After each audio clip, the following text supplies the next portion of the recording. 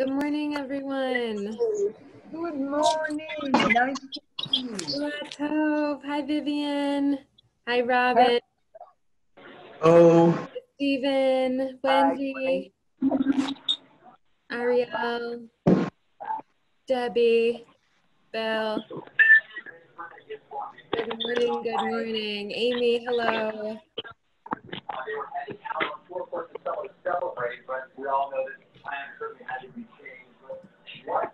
Good morning.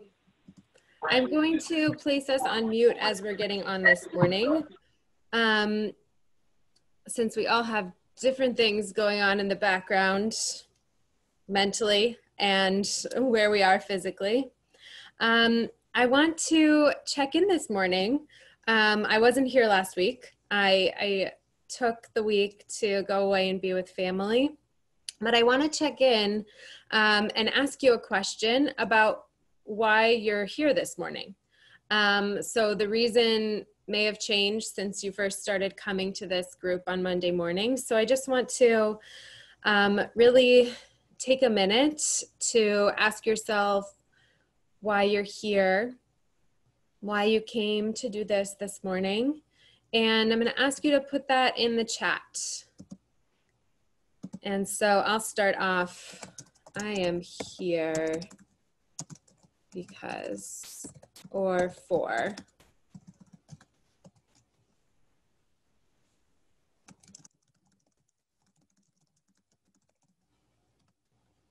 And I answered that I'm here to have a place to center myself and reground. So check in with yourself. Notice what it is, no judgment. If it's like just something to get you out of bed in the morning, that's fine. Um, refocus, self care, be with community, to be more relaxed and calm.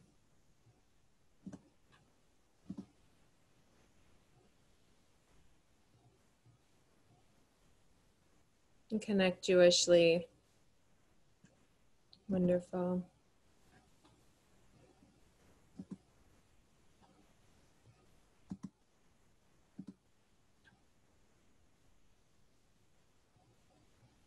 All right.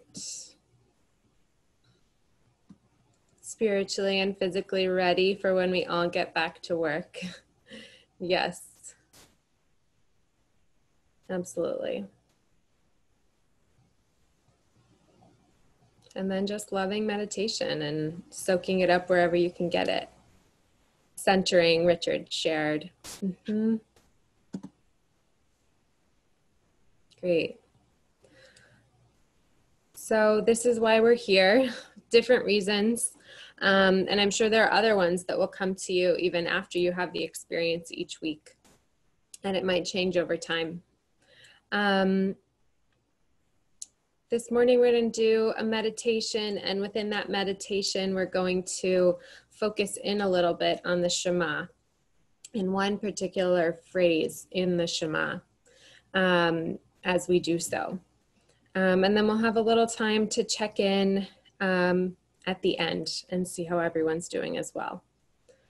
Okay? So I want to invite you to allow yourself to switch from the usual mode of doing, of activity, of going from one thing to the next, constantly thinking of what movement you need to make happen, what thing you need to control and allow yourself consciously to become still.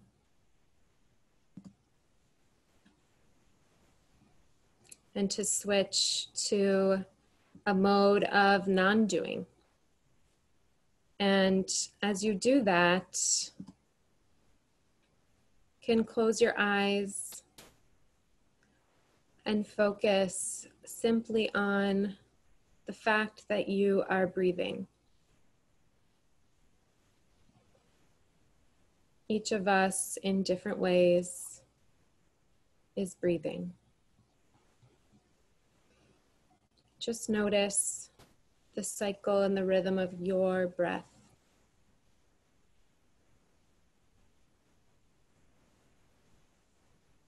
There's no need to change your breath. Just notice that you are breathing.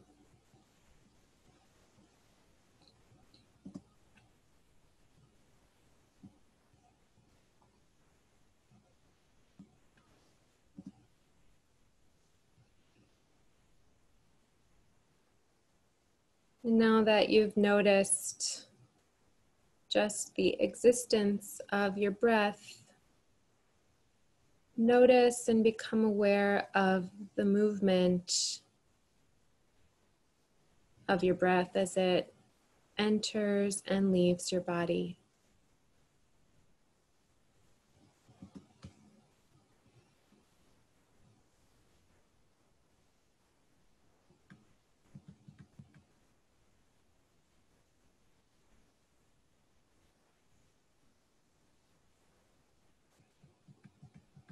Observe the breath deep down in your belly if you can.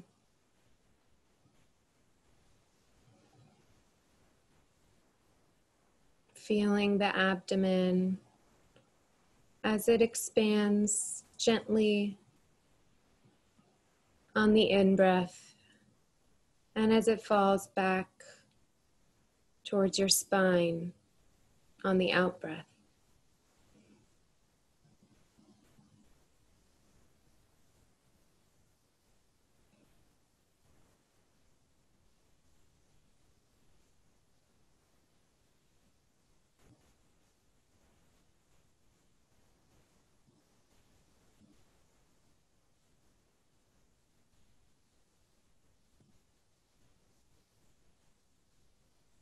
Not trying to do anything or get any place. Simply being with your breath.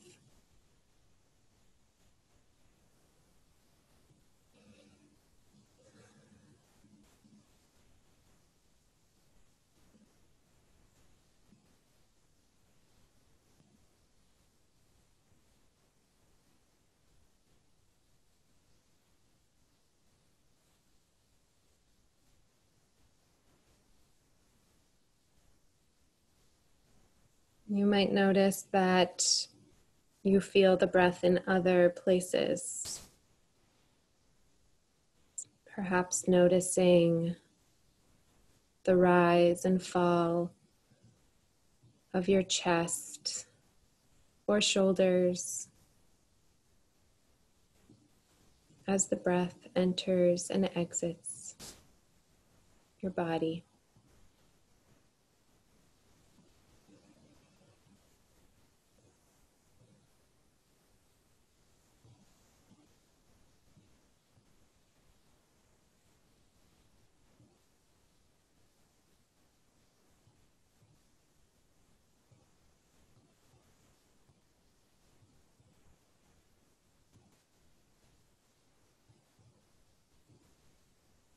Notice wherever you feel the breath most completely. Whichever part of your body or face awakens and moves the most with your breath.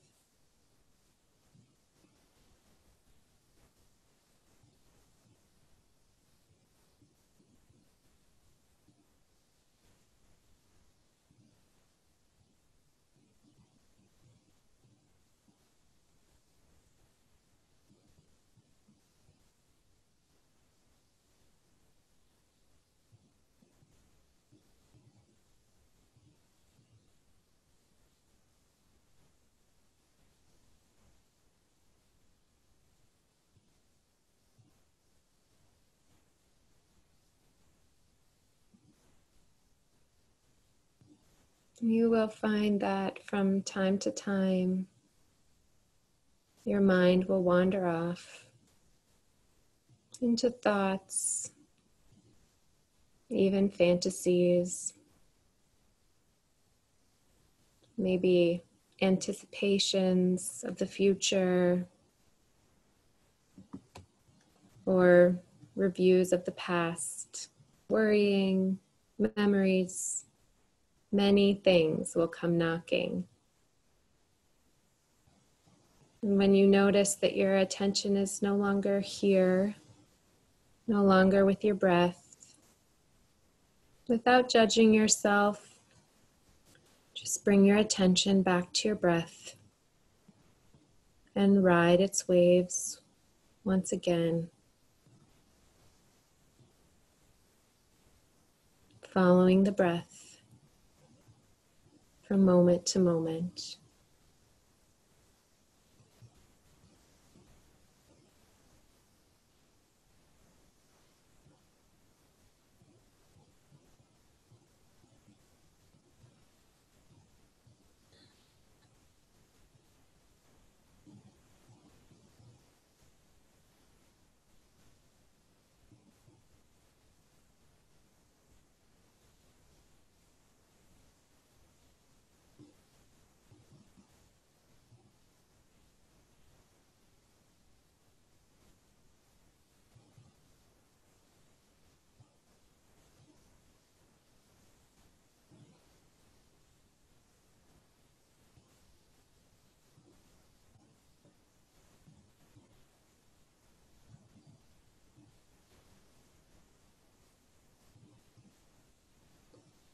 And bring yourself back to your breath whenever you need to.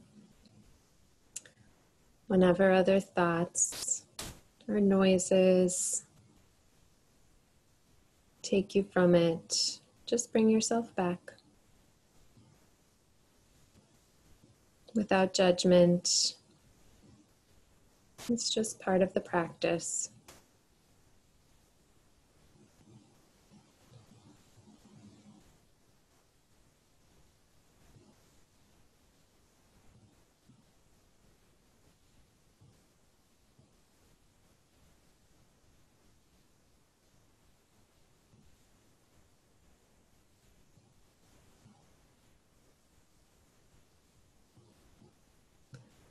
As you observe your breathing, you might find from time to time that you're noticing other feelings or sensations in your body.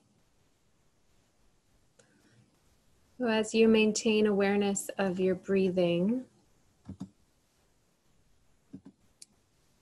see if you can expand your awareness to the other parts of your body as you sit here.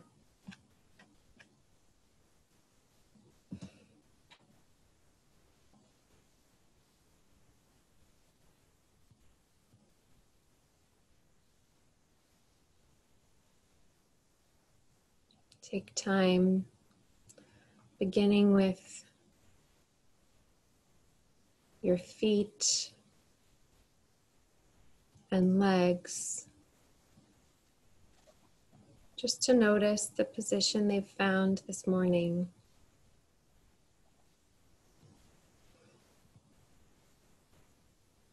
Noticing any sensations in your feet,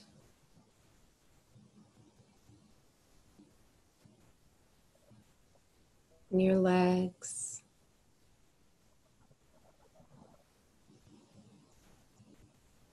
Becoming fully aware.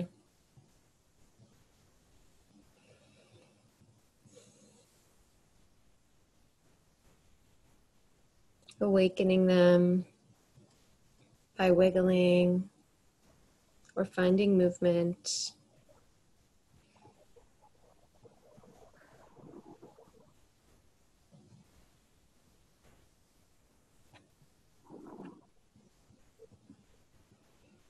Just be here with whatever you notice, whatever feelings and sensations come up.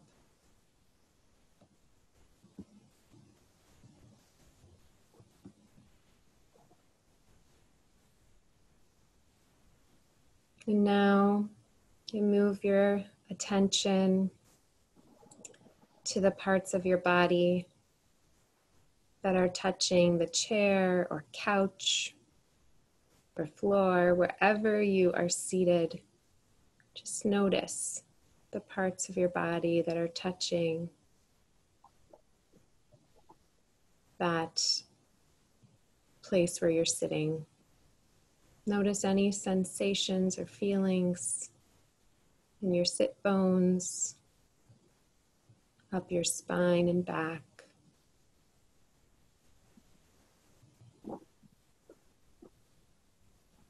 All the way to your shoulders.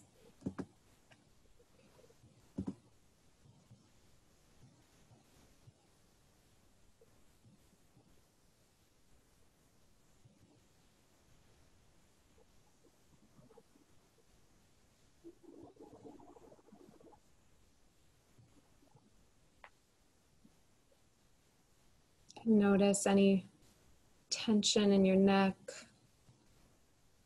or face,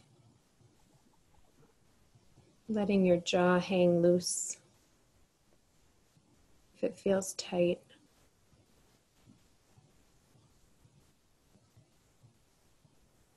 Letting your eyebrows relax in your forehead.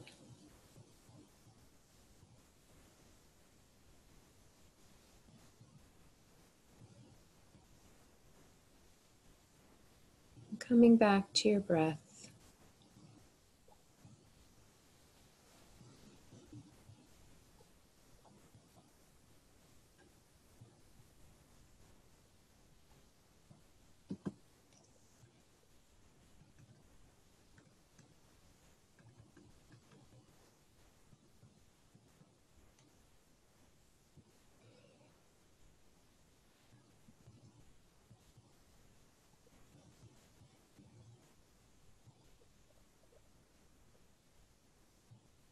With this awareness of body and breath.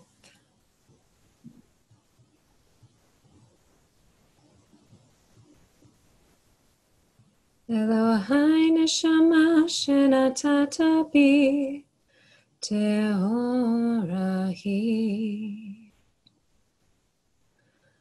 The soul that you have placed in me is pure.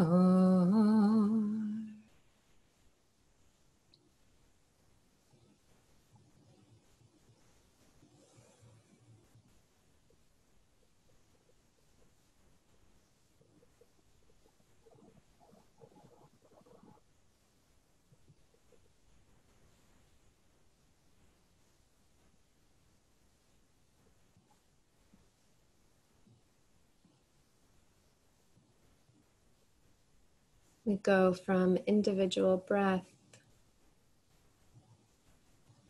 and purity of soul to our collective consciousness. We, 18 people on this call, in a place of mindfulness and centeredness and calm caring for self, but desiring to connect with others. We ground ourselves in the Shema.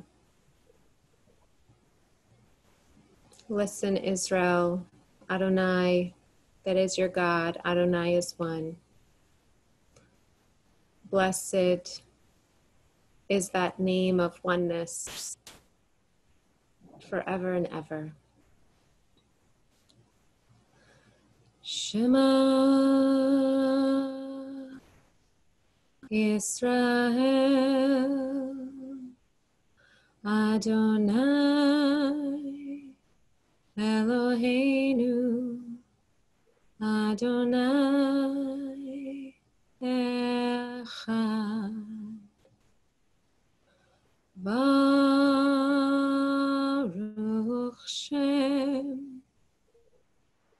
Kevod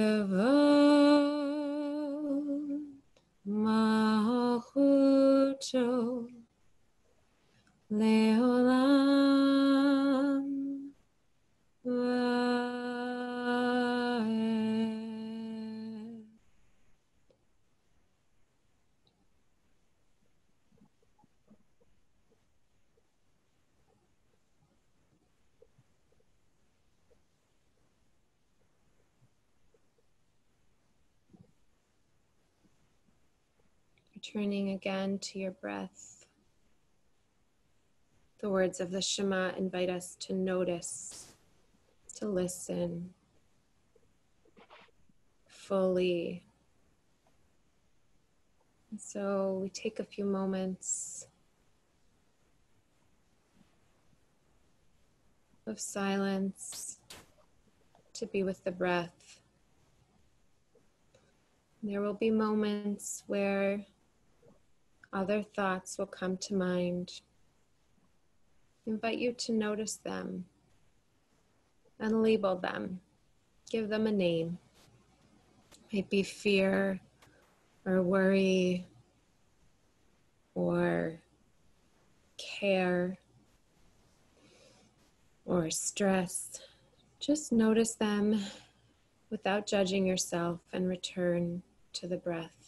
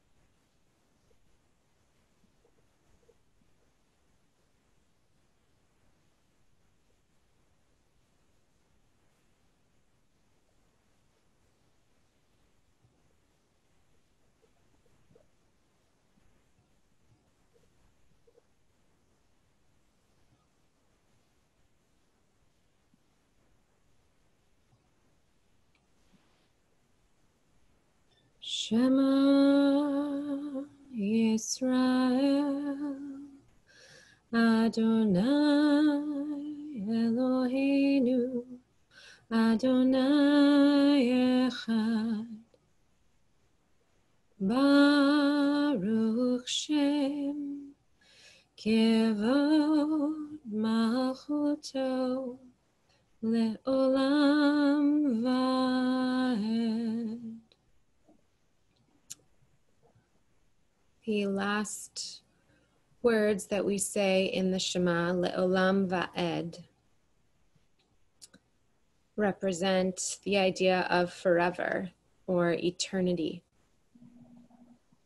It is so hard to grasp this idea of forever, of eternity.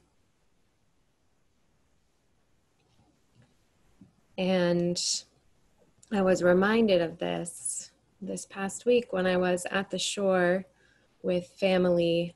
Each morning I would take a walk and see horseshoe crabs coming onto the shore.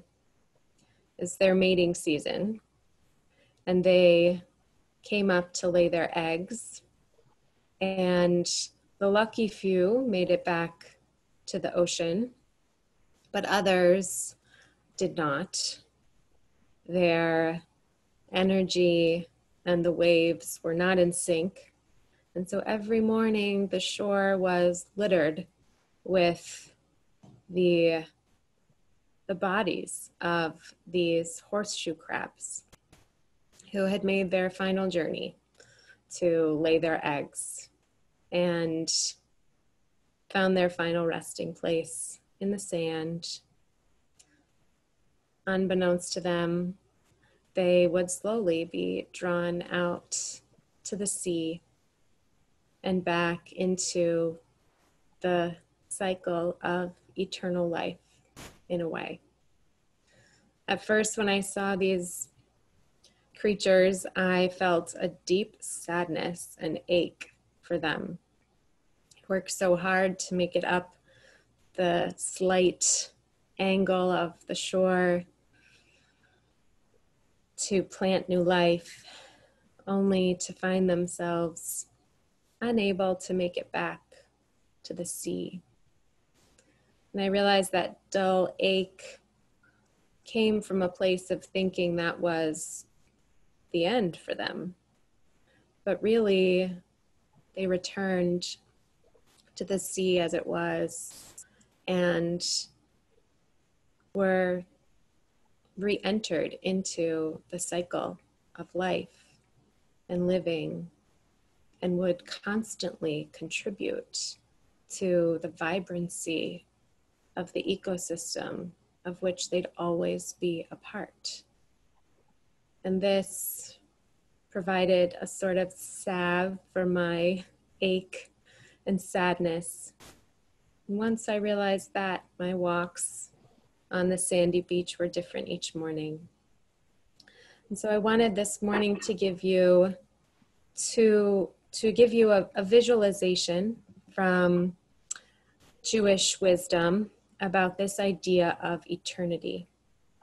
As we ourselves are trekking up sandy beaches, up sometimes what feel like uphill battles and place ourselves in eternity.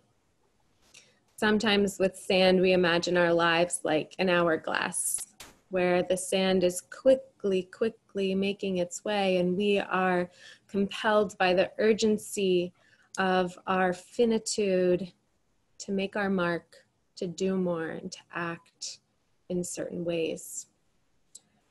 And Judaism invites us to think about eternity, le'olam va'ed, And a rabbi, Eliyahu Dessler, invites us to imagine also a beach with white, powdery sand that stretches as far as the eye can see. And on that beach is an enormous mound of sand. A huge, huge mountain, if you can picture it of sand, not just a dune, a large formation. And it sits there.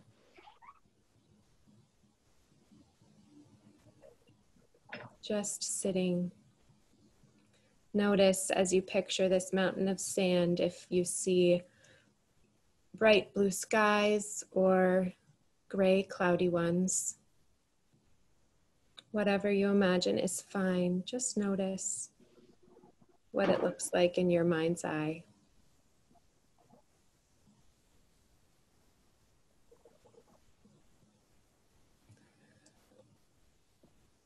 Then imagine that once every thousand years, a bird flies over to that mountain picks up one peck of sand and carries it into the sea and drops it into the ocean. It is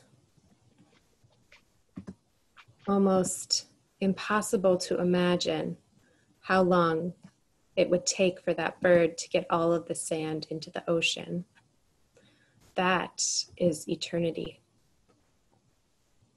And so sometimes when we are in the place of visualizing an hourglass with sand quickly, quickly dripping through, we can imagine eternity instead. So invite you this week to imagine a struggle or a challenge internally or in your work or family life, or as a person in this society that you're struggling with. Notice how you would approach that issue if you had an hourglass in front of you and sand and time quickly running out.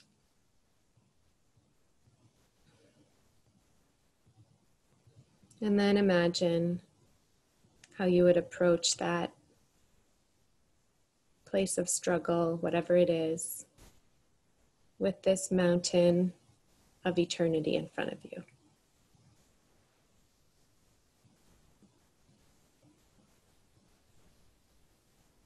Neither is right or wrong. We have both in Judaism. We have Shabbat each week as if an hourglass on our time. And yet we also have Le'olam Va'ed, this idea of eternity. And each help us balance out the sense of urgency with the sense that we are part of a much larger cycle of eternal life.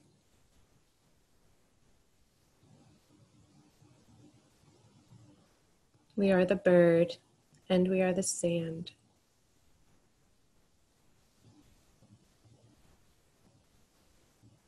Elohai neshama shenatata bi tehorahi.